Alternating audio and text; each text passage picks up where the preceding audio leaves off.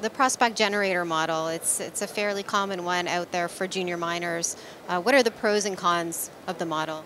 Well, the pros are uh, that a company with a cadre of geologists and particular expertise in a commodity region of the world, a deposit type, etc., can go out and do reconnaissance exploration and pick up properties of merit, which they then uh, joint venture to other companies to spend their money to earn in.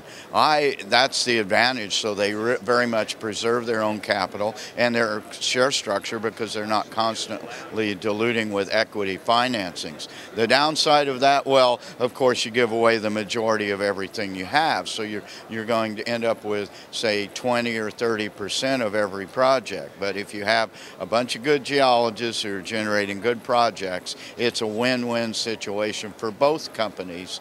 Uh, and I think personally that the positives far outweigh the negatives of the prospect generator model. Uh, is it is it an uncommon model or? or? Uh, it's not particularly an uncommon model now. It's kind of become the flavor of the last year or two. So you see more and more companies going into the prospect generator model and, and new companies starting out as prospect generators. Uh, it was not very particularly well known, uh, say, prior to the past couple of years, but there's a couple of very long-lived prospect generators. For instance, Almaden Minerals has been around with this model since 1986. Uh, one of my favorite companies, a company that I cover and I own shares of.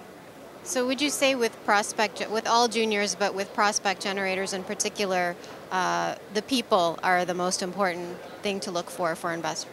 Well, I don't always think the people are the most important thing. They are certainly very important. I, being a field geologist, judge companies immediately by their projects because I can eliminate more quickly by rejecting the projects they're involved with. But certainly the people are very important, and the geologists on the ground exploring are very important the prospect generator model couple uh, that I am very bullish on right now, and one that I've just covered is uh, Avrupa Minerals. It's a new company launched in July from a CPC, trading about 43 cents with 16 million shares outstanding. So it's got a market cap of $7 million.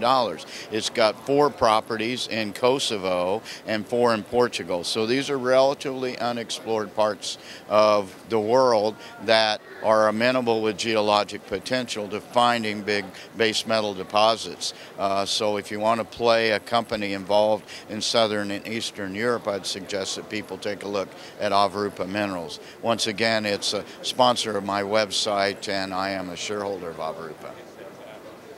Are, were there any others or? Uh, one other one I very much like is Tarsis Resources, and they are in the hottest part of the world for gold exploration, the Yukon, a relatively young company, again with a very tightly held share structure, and uh, it's gone up quite a bit. I think it's trading in the 70 cent range now, uh, but with only, say, 25 million shares out, uh, it still has a very low market cap. It's got 15 properties of merit in the Yukon that are available for joint venture, and a couple of those have been joint venture. They are staking ground as we speak right now via helicopter in the Yukon, so I would expect good things out of Tarsis Resources uh, during the summer months.